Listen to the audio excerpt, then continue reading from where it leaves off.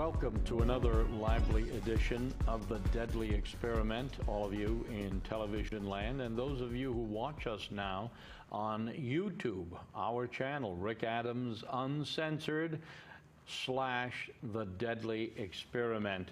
Those of you who watch uh, the internet, younger people particularly, will appreciate that fact that uh, you can view us anytime and any place online on your phones. We live in an incredible age, an age of high technology, and God is using this technology just as Satan is. Satan is deceiving the world, but God and his children are revealing that hidden agenda, that darkness, with his light of truth. With me today is my co host, and he is back again by popular demand. Matt, how are you? I'm doing amazing. Thanks for having me, Rick. Amen. You've given a great testimony in previous programs of how you came to the Lord. It's good to have you back. And, uh, you know, today we're going to hear one video on this program that I think is so important for people to understand that they need to go back in time to about the year of 1960-ish and the Dan Smoot report, which was an attempt at that time to help rescue America from its policies of self-destruction. We're almost there now, folks. But this will show you, this old black and white expert on the Constitution, Dan Smoot, probably the greatest scholar that I have ever come across in my years of study. And he's going to talk about constitutional rights, seeing as we, at this time of year, we've just passed the so-called Independence Day celebration. You know, Matt, Independence Day today is totally irrelevant. It's an anachronism, means nothing to the average Joe, doesn't it? No, uh, I mean, uh, it's really just uh, another excuse to get together and barbecue, you know? And um, drink. And drink, of course, you know, and just the American excess. It's like any other holiday, it's been uh, totally, totally misconstrued. And I mean, what are we independent from at the moment? We're a total police state. I mean, right. martial law is imminent. Um, things are not looking good as far as the reverence for the Constitution, as we'll get into. Um, totally, totally irrelevant, and, yes. uh, and just another excuse.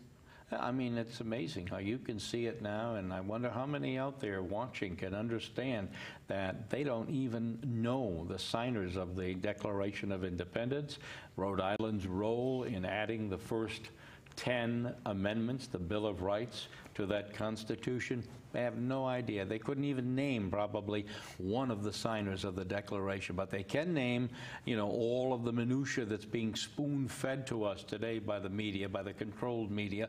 Every baseball team, every yeah. movie star, every rock singer, they can go down the line, but they can't name one of their founding fathers. And you know, the same is true of our scriptures. Our scriptures sit on the shelf if they're on the shelf, and it collects dust. They don't pick it up. They don't read it. They don't get on their, their uh, you know, their Androids and look up the Word of God to see what it says about the time we're living in today. And we are living in those times of the end, folks. We're in the last days described by the prophets and by the apostles like Matthew and Mark, Luke, John, Jude. All of them were teaching about what?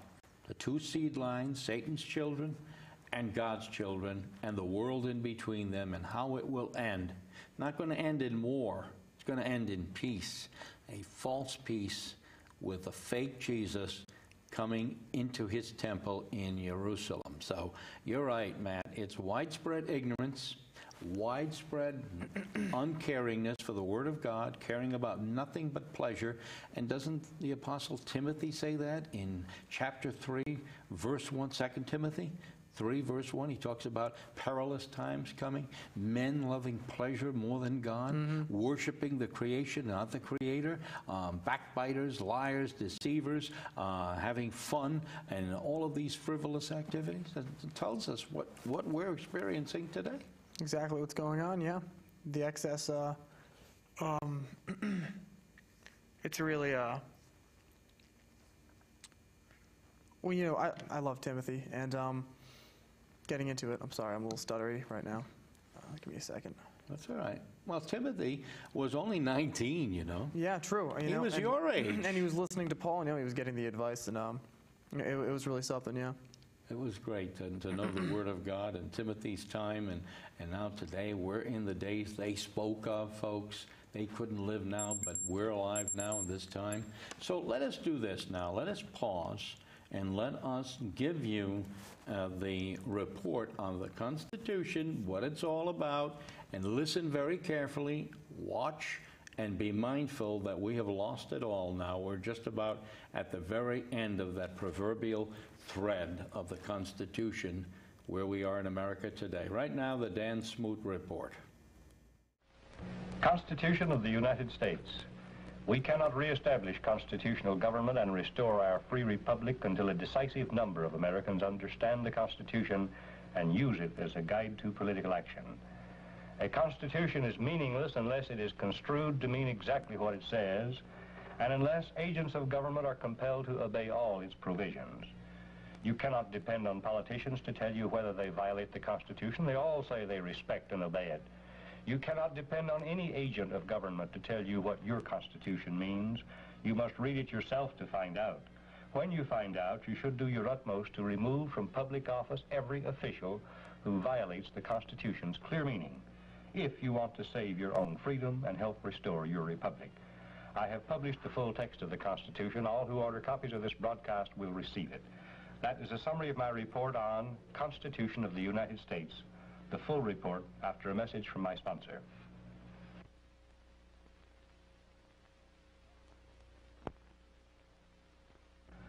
The Constitution delegates the major powers of the federal government to Congress.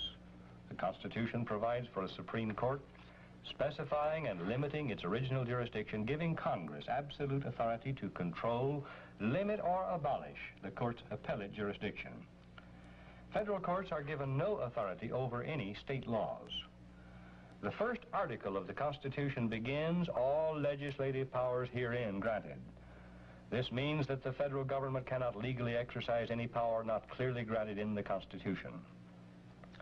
The 52-word preamble includes promotion of the general welfare among the broad purposes for which the Constitution was ordained, but the preamble is not a grant of power. The only other place where promotion of the general welfare is mentioned in our Constitution is Section 8 of Article 1. The Congress shall have power to lay and collect taxes, duties, imports, and excises, to pay the debts and pro provide for the common defense and general welfare of the United States. Many assert that this general welfare clause gives government broad powers to do anything which the President and Congress claim to be necessary for common defense and general welfare. That is not true. James Madison, father of the Constitution, said the Constitution grants no general powers to the federal government. He explained that the so-called welfare clause is not a grant of power, it is merely a heading for enumerated powers which Congress may exercise to provide for the common defense and general welfare. James Madison delivered a speech on this subject to the first United States Congress, quote, if Congress can apply money indefinitely to the general welfare and are the sole and supreme judges of the general welfare, they may take the care of religion into their own hands. They may establish teachers in every state, county, and parish, and may pay them out of the public treasury. They may take into their own hands the education of children, establishing in like manner schools throughout the Union. They may undertake the regulation of all roads other than post roads. In short, everything from the highest object of state legislation down to the most minute object of policy would be thrown under the power of Congress. For every object I have mentioned would admit the application of money and might be called, if Congress pleased, provisions for the general welfare. End quote. Madison also said, the powers delegated to the federal government are few and defined.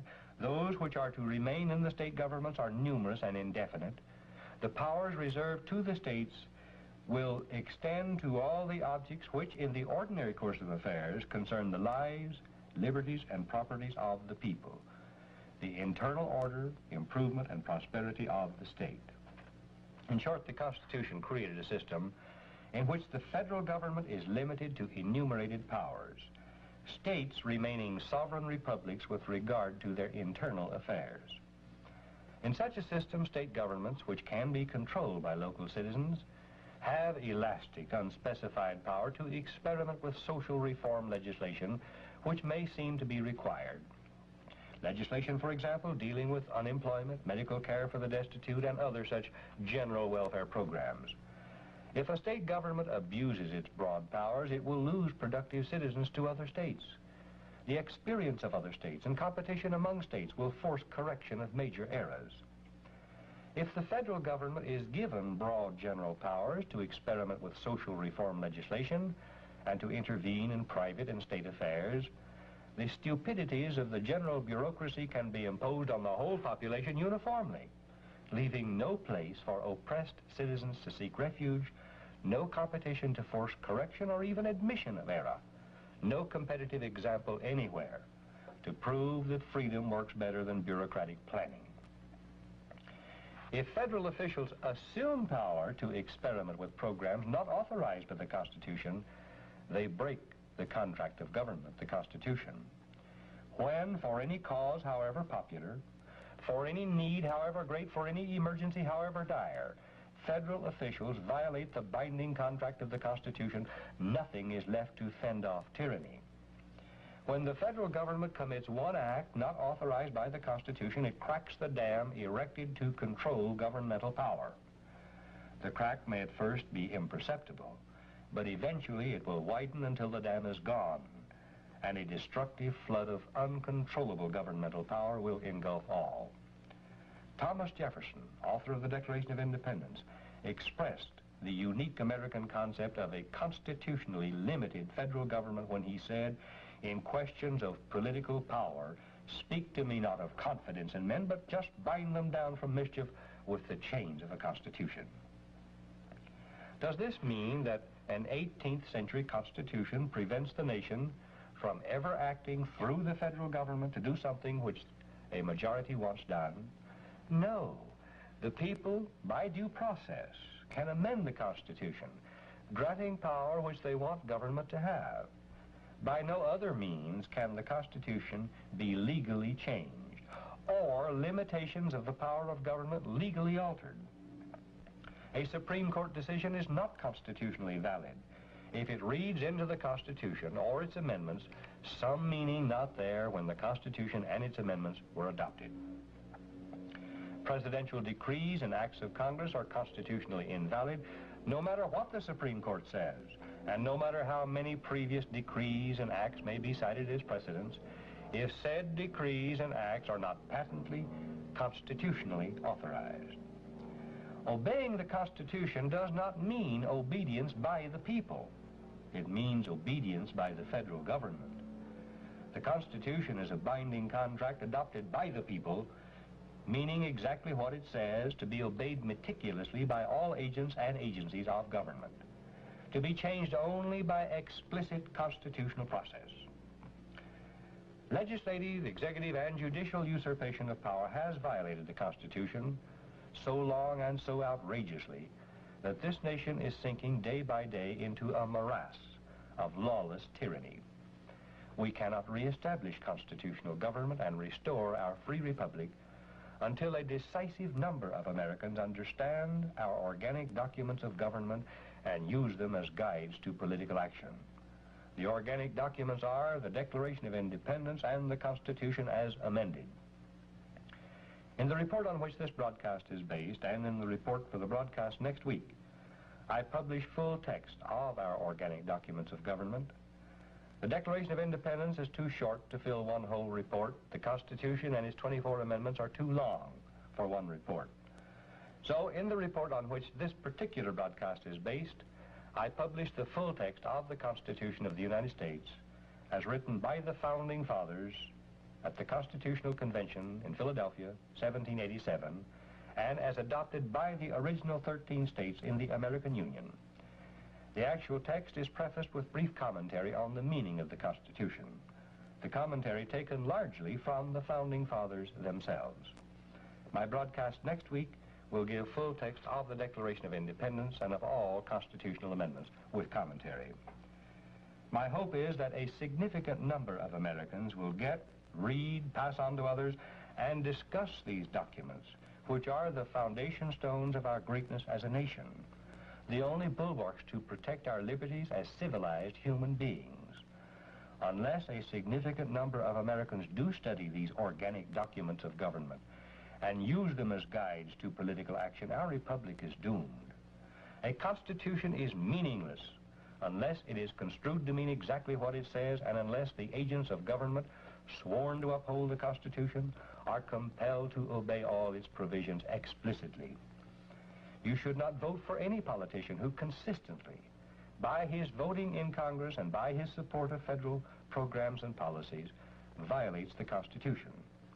You cannot depend on the politicians to tell you whether they violate the Constitution. They all tell you they respect and obey it. You cannot depend on any agents of government in the judicial, executive, or legislative branches to tell you what your Constitution means. You must read it yourself to find out. When you find out, you should do your utmost to remove from public office every official who violates the Constitution's clear meaning if you want to save your own freedom and help restore your republic.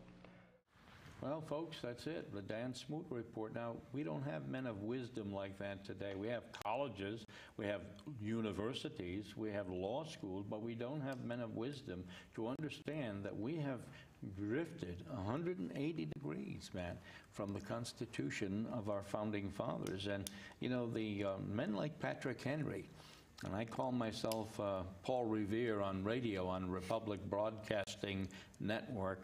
And uh, I think of both men were great men, and, and particularly Patrick Henry. He was an opponent of the Constitution because he knew insightfully, prophetically, someday it would wind up being exactly what it is today. As George Bush put it, W, he said it's a GD piece of paper, and that's all it means, the Constitution. Tony Blair should be charged with war crimes based on the latest report in, Italy, in England about what he's done and what baby Bush did in Iraq. They should all be charged. Dick Cheney, particularly, uh, Donald Rumsfeld, they all lied us into war just as they did in First and Second World War. So, you know, where is our Constitution today? It's gone. Where's the Declaration of Independence today? It's not on the hearts of Americans. We're interdependent. How are we in- interdependent? Think about it economically and so forth. Oh, well, I mean, for starters, how many billions of dollars do we give to Israel every year? I mean, it's, it's completely ridiculous. It's, uh, uh, to think we're anything but, um, but just, we're like this war machine that, um, that gets pushed and pulled all over the world um, by the powers that be. You know, the, the Constitution is completely absent from school systems, from, from everything. In fact, it's, it's, we're, like you said, we're drifting in a, in a massive 180 away from, from sanity, from, uh, from what the founding fathers stood for. How about financially today? Do you Oh. think people are dependent on their checks from the government? Absolutely. I mean, look at this push for, for, uh, I mean, as far as inflation's considered, I mean, look what Venezuela's going through. I think that's what we're going to go through soon. I mean, you know, in, in a society like this, you really, where so many people are so oppressed, you, really do need a lot of that social benefits, and, and just for them to have some dignity. But it's it's totally, they, they've, it's it's an extremely complicated issue, and it's completely and utterly been blown up, blowing up in everyone's face as far as. Well, yeah, people have been seduced, like uh, Eve was seduced by the serpent and bore Cain, you see.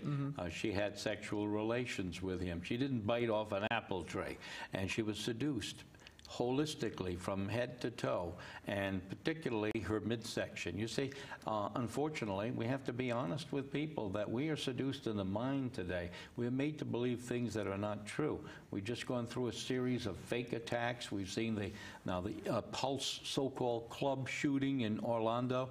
Um, I know that you've researched it. I've researched it. It's just another one of a long line of successive Department of Human Services and the Department of Homeland Security hoaxes that have been perpetrated. The federal government, the FBI, has just said, James Comey, forget about Hillary Clinton, that's irrelevant. What's relevant is he just said that the records on that club shooting supposed shooting, what happened before, during, and after, are sealed from the public.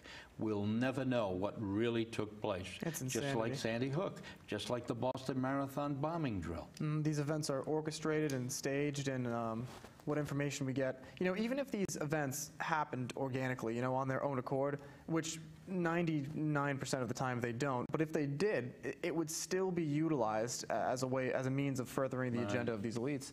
Um, and you know, I mean, people will believe whatever they're told. A, a transgender, you know, gay gay bar club gets shot up, and so you have the gun issue, you have the gay issue, you have the Islam by an Islam. I mean, it's it's literally like.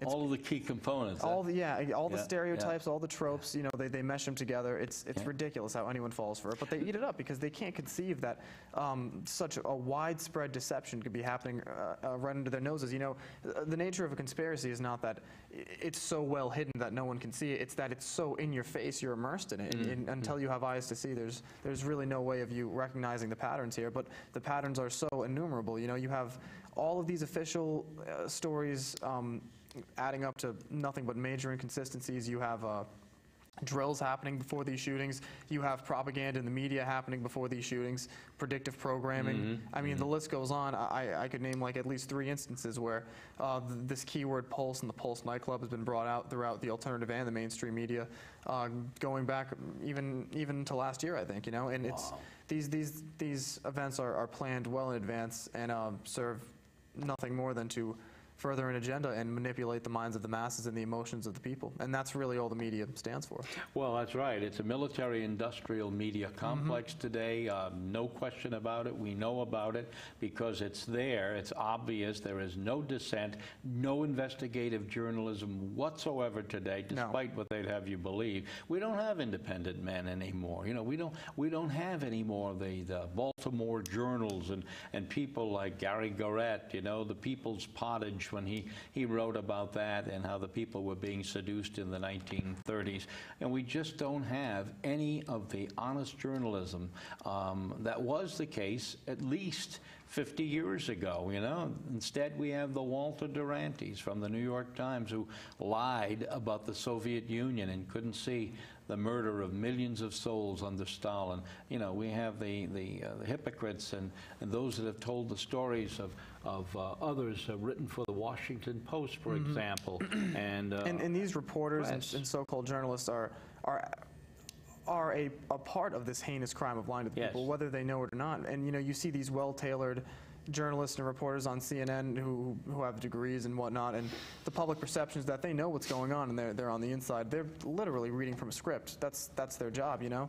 Um, and they'll Yes. take whatever information they can get from corrupted sources. And, and these people are all vetted, but, you know, people don't understand that, they don't know that, and, and they have this sense of trust when it comes to what they see on CNN or on they, Fox. They do, but they, they say they don't. In Yeah. poll after poll, uh, the American public has been polled and steadily downward have come their faith in the media. Ever since 9-11, ironically, which was a real attack by the Zionists through the White House, through the Pentagon on America, it was a deliberate act of murder like Pearl Harbor was with Roosevelt. But ever since then, people have been polled, do you trust Mm-hmm. the official account? No. Do you trust the media as you used to? And here are the polls. The poll numbers come down. And we It's come like- to this problem where people, on one level or another, understand that this system is, is totally collapsing, or and, and um, that the establishment is, is totally an, an evil entity. They, they understand it's it's corrupt and it's broken and it's wrong, and they they'll even go so far as, yeah, I heard some shady things about that 9/11. I wonder what really happened, you know, but no one could ever know. Or um, things about history like yeah JFK was totally killed by this. You know I hear like the average Joe say something like that you know every now and again.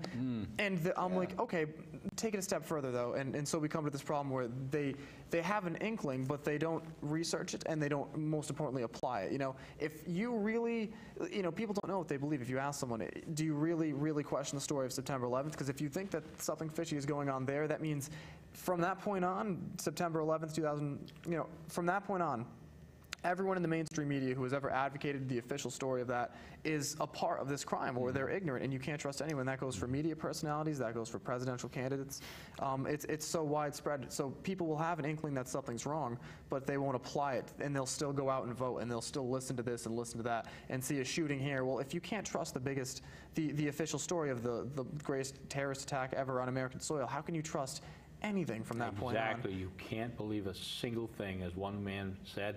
I don't believe anything since 9/11. Nothing at all. You see an image, but you don't know that it's real But- because we've seen how mm-hmm. they've orchestrated through CGI. And someone who goes out and talks about this is looked at as, ironically, as narrow-minded. They're like, well, you, do you think everything's a conspiracy? And that's coming from someone who doesn't know the nature of a conspiracy and, and hasn't researched the event itself and is, is really just taking in the official narrative as what the media well, says. I find it ironic that the people on the so-called left of this paradigm always criticize the Obama administration on everything, except they will not advance him credit for orchestrating false events or false flags. How many shootings have happened since It's a- Obama took it's office? amazing. It's But ridiculous. that's conspiracy theory. We wouldn't want to do that. The media, which they deride as being left of center, far left, and so on and so forth, they will accept every single hoax that the media You know why? Because the same people who own the media own the major talk networks. Yep. They own the, well, Fox, of course, CNN, uh, Avi Novo now, an Israeli, owns it outright.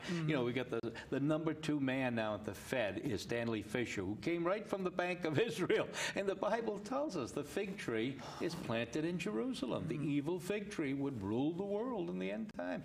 Why don't we believe our Bible? We believe the liars like Tom Brokaw, and we believe the Hillary Clintons and the Donald Trumps and people like this are not going to save you. They're going to further your demise. Um, if we have time left today's program, I want to get into this thing. Speaking of possible false flag or real attacks on America, because we know the time is coming when America is going to experience an attack on her soil here very shortly. Um, how about this, this upcoming event with all of these religious people gathered in Washington? Now, we haven't heard very much about this. Um, so I believe it's called Together Reset, and uh, it's Christians and Catholics are meeting, uh, I guess, in, in, in um, right in front of the Washington Monument. Millions of Christians and Catholics meeting together to, to unify, and uh, I believe the Pope's going to be there. Uh, I think it's July 16th or 17th, and I'm not hearing much about it from the mainstream media, and surprisingly, I'm not hearing much about it from the alternative media. But what I am hearing about it through the alternative media it seems like it's a big, big buildup for some kind of a cultic event. I mean, you have Christians in Washington D.C., the most satanic state, filled with occultic architecture. I mean, architecture. You can you can go back and and uh, and look at the city planning, and it, it's a pentagram. You can go into there. There is so so much. It is so deep. It, it is um, just a city of, of Illuminati monuments. You know, uh, you have the giant obelisk. You know, and um, Christians and Catholics and nobody nobody really understands or researches that far. But this event, it's called Together Reset, I believe, and you have them all gathering, and I, I think it's we're in the works for a major false flag attack or some kind of some kind of um, So it is very likely that it's possible Mm-hmm. that something could happen, even while this program is being aired, ladies and gentlemen, because it's timely. It's timely since we are being told by the same corrupt government from the FBI, Brennan of the CIA, and so forth, that we could have an American attack. That is an ISIS Oh, yeah. attack on American soil. ISIS is nothing more than the Israeli state Mm-hmm. internal security. It was started by them, it was begun by them, we're financing it through Turkey, we're financing it through NATO. That's why you had a, a fake Brussels attack, that's the headquarters of NATO. It's all tying into the military, industrial, media complex. and I don't want to put a date on it. I wasn't, um, you know, it's it's likely. You But should just take be aware of these consideration. possibilities. Yeah, absolutely. That anything could happen at any time that will bring down the economy, it will bring down the political system just in time for another false selection this year, and it will bring down all of the other add-ons to this complex myriad of problems. Most of all, the religious beast system will come. We're out of time. Oh, Matt, it's been a great pleasure again. Thank you for joining us. always a pleasure. We'll be back again in the next program. Rick Adams, your producer and host for The Deadly Experiment. Watch us on YouTube as well. Goodbye, and Yahweh blesses elect.